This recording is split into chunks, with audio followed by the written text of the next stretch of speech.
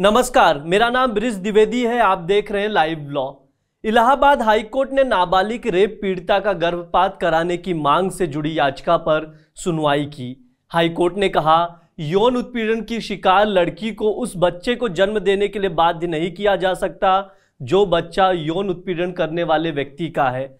दरअसल 12 साल की रेप पीड़िता ने अपने 25 सप्ताह के गर्भ को समाप्त करने की मांग करते हुए याचिका दाखिल की। जस्टिस महेश चंद्र त्रिपाठी और जस्टिस प्रशांत कुमार की बेंच ने कहा, महिला को अपनी प्रेगनेंसी मेडिकल तरीके से समाप्त करने से इनकार करना गलत है। उसे मातृत्व की ज़िम्मेदारी से बांधने से, उसके सम्मान के साथ जीने के मानव अधिकार से इनकार करना होगा। पीड़िता को अपने शरीर की स्थिति का निर्णय लेने का पूरा अधिकार है। रेप पीड़िता ने अपनी माँ के ज़रिए हाईकोर्ट का रुख किया। याचिका में कहा गया कि पड़ोसी ने उसकी बेटी का कई बार रेप किया और यौन उत्पीड़न किया। लेकिन वो बोल और सुन नहीं सकती है, इसलिए वो किसी को भी इस घटना के बारे में नहीं बता पाई। उसने साइन लैंग्वेज के ज़रिए माँ को रेप के घटना के बारे में बताया। इसके बाद माँ ने आरोपी के खिलाफ रेप और पॉक्सो एक्ट के तहत एफआईआर दर्ज कराई। 16 जून 2023 को पीड़िता की मेडिकल जाँच कराई गई तो 23 सप्ताह के गर्भ का पता चला। 27 जून को मामले को मेडिकल बोर्ड के समक्ष रखा गया तो ये राय दी गई कि गर्भावस्था 24 सप्ताह से अधिक है। इसलिए गर्भपात कराने से पहले अदालत की अनुमति की आवश्यकता है।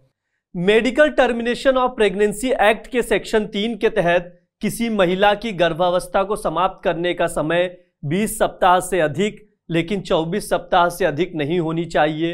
वो भी केवल विशेष परिस्थितियों में गर्भपात की अनुमति दी जा सकती है। ये देखा जाएगा कि महिला के जीवन या शारीरिक स्वास्थ्य को कोई गंभीर नुकसान तो नहीं होगा।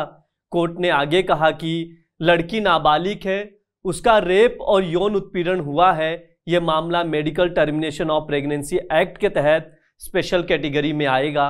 कोर्ट ने मामले की संवेदनशीलता को देखते हुए मानवीय आधार पर अलीगढ़ मुस्लिम विश्वविद्यालय के कुलपति को आदेश दिया कि जवाहरलाल मेडिकल कॉलेज, अलीगढ़ के प्रसूति एवं स्त्री रोग विभाग के पाँच चिकित्सकों की टीम गठित की जाए।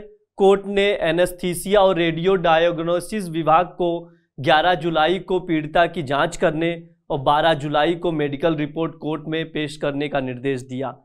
इसी तरह की कानून से जुड़ी खबरें देखने के लिए लाइव लॉ को सब्सक्राइब करें और नोटिफिकेशन पाने के लिए बेल आइकॉन पर क्लिक करना ना भूलें। साथ ही कानूनी खबरें पढ़ने के लिए आप लाइव लॉ की हिंदी और इंग्लिश वेबसाइट पे विज़िट कर सकते हैं। लिंक डिस्क्रिप्शन बॉक्स में दिया गया है। शुक्रिया।